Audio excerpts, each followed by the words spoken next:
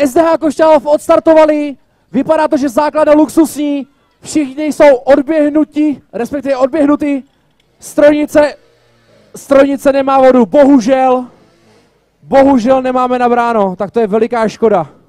Savice prázdná, tak aspoň dokončit se tří. Velká škoda, velká škoda týmu, který aspiroval na přední příčky. To je bohužel veliká škoda, jak jsem říkal. Tým, který aspiroval na přední příčky, nebylo nabráno, v Savici nebyla voda, takže rekord 16-10 nebyl překonán. Zeptám se, platí stále to, co bylo řečeno? Kdo překoná rekord dráhy, dostane 2000? Platí, platí.